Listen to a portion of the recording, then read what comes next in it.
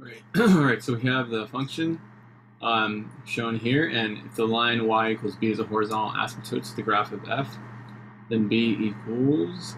So um, if y equals b is going to be a horizontal asymptote, then that means that as x goes to infinity or negative infinity, the graph is going to approach this horizontal line. So essentially, we want we want to see like what the behavior will be when um, x is very very big or very very large. So one way to do this is just to expand the top and the bottom by multiplying.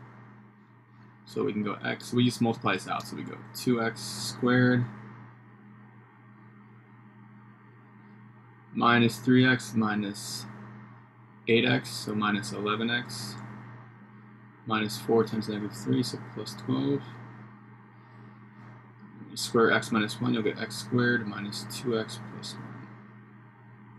So one technique to um, determine the end behavior, we call it, is to divide each term by um, the highest powered the highest powered um, variable, or you can think of this as like, you know, like like what's going to dominate, what's going to like overpower the other one. So if we were to divide each term by x squared, 2x squared divided by x squared, you would get just 2. Um, 11x divided by x squared will be 11 over x. 12 divided by x squared is 12 over x squared. x squared divided by x squared would be 1.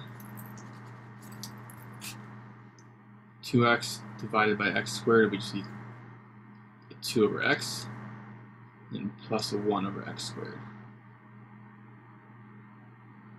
So um, we want to see like what is going on when x like goes to infinity. So if you're going to plug x in, in if you're going to plug a very very large number for x into these expressions, what happens is this goes to 0 because 11 over a billion is like 0, 12 over a billion is like 0. So all these terms over here, none of these matter. So what really happens is that you're really just going to divide the coefficients, the leading coefficients by each other. So 2 over 1. So the asymptote will be the equation where the value b will be 2. Right, the base of a solid is the region bounded by the x-axis in the graph of y equals the square root of 1 minus x squared. For the solid, each cross-section perpendicular to the x-axis is squared. What's the volume of the solid? Okay, so let's just draw like a sketch of what's going on. So we have this, if we have this, you should know that this is going to make a semicircle. It'll, it'll intersect the x-axis at negative 1 and 1. It'll be up here bounded by 1.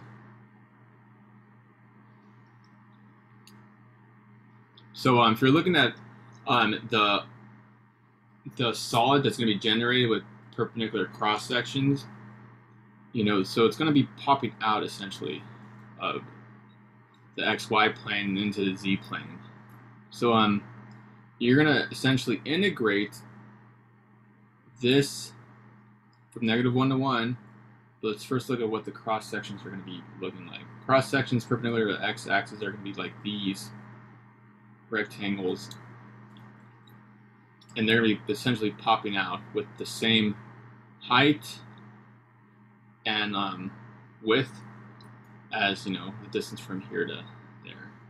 So let me actually draw like a, we could draw like a little three-dimensional sketch, we'll see how good this goes. So let's pretend this is this is a z. This is where it's popping out. This is y. This is x. This will be like our semicircle. So a cross section would be like Let's see if I want to make let's make it easier. If I had one like over here, I want to draw what this would look like in these three dimensions. It would be, you know, essentially like this square coming out there. And if I, had, if I had one over here, let's say, it would be like another square going up like that. So, so, so some weird like like decreasing like square like, semi-sphere sort of thing. Anyway, so what you want to do is um, figure out the, the equation for the areas of each of these squares and integrate it from negative 1 to 1 in terms of x. So the volume of this would be set up like this. And the area of a square, you know, just, are just the side lengths, you know, multiplied by the side length or the side length squared. So the length of these sides, let me draw an x, let me draw like a potential cross section could look like.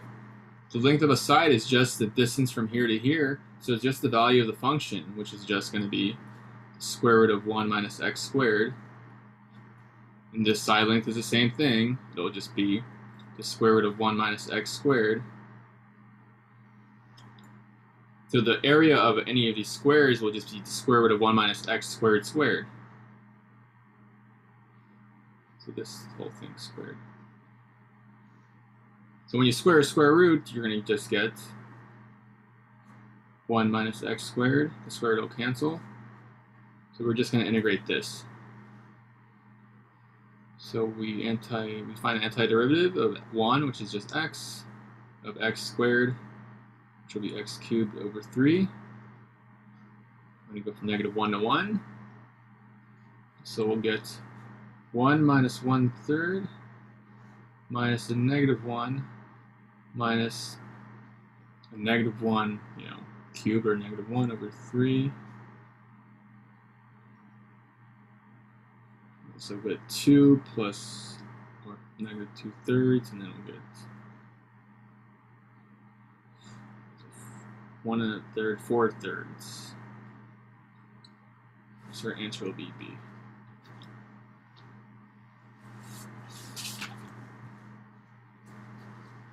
All right, now we have a, say function that's um, given by kx over x squared plus 1, where k is a constant. So we want to see if there are any values of k where the function is strictly decreasing on the interval negative 1 to 1. So let's see what the deri derivative is, and then we want to see where the derivative will be negative on this interval for values of k. So um, you can keep the k on the outside. You know, it's just it's just a constant. So we take the derivative of this. Um, we're going to use product rule.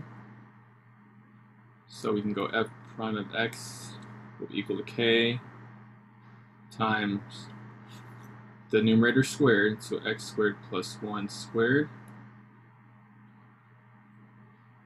Keeping the bottom as our constant, times the derivative of x, which is just 1 minus then the derivative of x squared plus 1, 2x times x. Again, using quotient rule. Cleaning this up, we get x squared minus 2x squared on top, so we're going to have k times a negative x squared plus a 1 over x squared plus a 1 squared.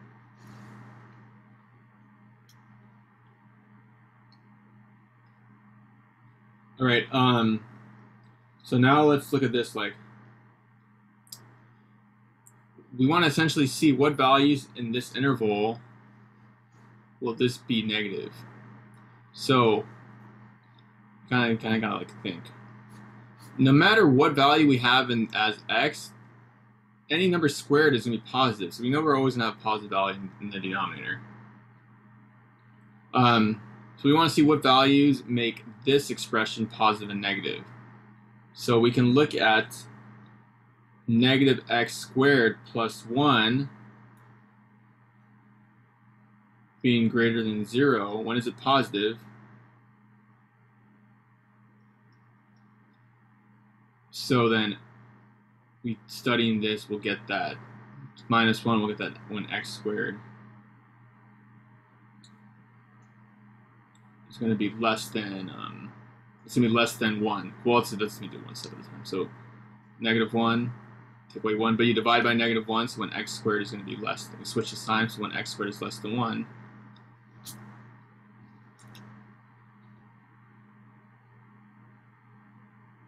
So then, um, if that part is positive, that'll make that that'll make that positive when x squared is less than one then we need the k to be negative. because then negative times a positive over a positive will give you a negative overall value. So then, if for k to be negative, it just has to be below zero. We just want it to be a negative number. And then so the answer will be A.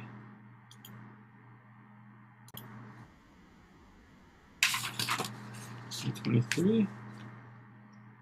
All right, what the following is the equation for the line tangent to this graph? So we let's um so it looks like we're going to have an equation in point slope form. So um let's just write what it is. The point slope form be like y y minus y one equals m times x minus x one. So the equation for a line that's tangent, we first got to find the slope of that line. So we want to find the derivative of this. So y prime, take the derivative of 3, that's just 0, this is a constant, minus the derivative of this integral, and um, when we differentiate an integral, this is basically using the second fundamental theorem of calculus. When the endpoint is an x or a variable, it's very simple. You just replace that variable with variable and expression. So it's just minus e to the negative x cubed. Essentially, you're just you're just undoing the integration. When you differentiate an, an integration expression, you're just undoing it. So that's why it, it, it becomes whatever's in here. It's like adding one and subtracting one, you're undoing it. Okay, so now we have the derivative. So let's find what the derivative is. At x is negative 1, so y prime of negative 1 would then be negative e to the negative 1 times negative 1, so negative e to just the 1.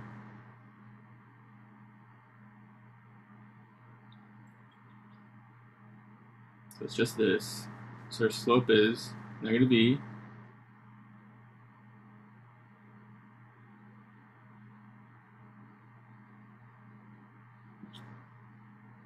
And then um, we can look at what points we can plug in for y1 and x1 or x1 and y1. So we find, we know when, when x1 is negative 1, let's just figure out what y is.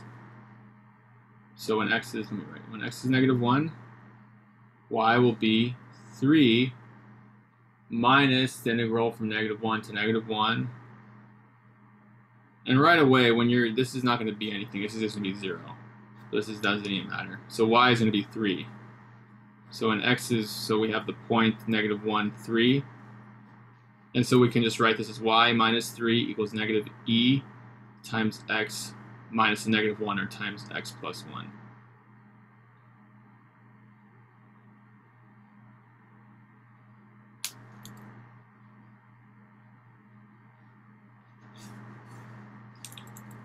So answer would be, let's see, VP.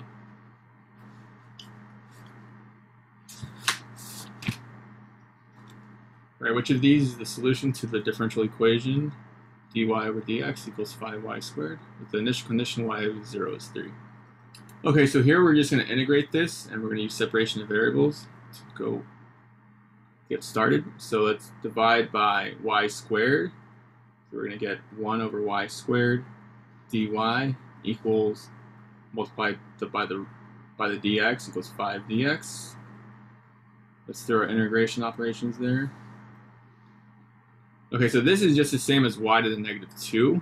So using reverse or the anti-power rule, you're going to get y to the negative 1 over negative 1 equals 5x plus some constant c. And then um, let's let's work our way from here. So then, I like to get rid of this negative just to make it a little easier to work with. Let's see, like, so y to the negative 1 is negative 5x plus, so this constant, still going to be a constant, but it's not going to be the same because we're multiplying by negative 1. So we get this when, we multiply by negative 1. And then um, we can use this initial condition, plug in x for, plug in 0 for x, and we should get 3 for y. So um, we plug in this point. So you're going to get 3 to the negative 1, or just 1 third, is equal to 0 is 5 times 0, 0 plus C2. So your constant is 1 third. So then your constant symbol is 1 third. You're going to get y to the negative 1 equals negative 5x plus 1 third. And they're probably going to want to rewrite this so that the y is, you know, is in the numerator. So um, just, so this is the same as 1 over y. So just kind of like multiply this by y by y and divide by this. Write it like this just to be clear. So you basically just get y equals, it's kind of just flipping it over, 1 over negative 5x plus 1 third. And well, yeah, they aren't, they're not going to have it like this. They're going to have this 1 third looks like um, multiplied by 3, I guess, because that would be the, this would be the 1. So if you multiply this by 3, or by 3 over 3, so to speak, you'll get then um, you get 3 over negative 15x plus 1.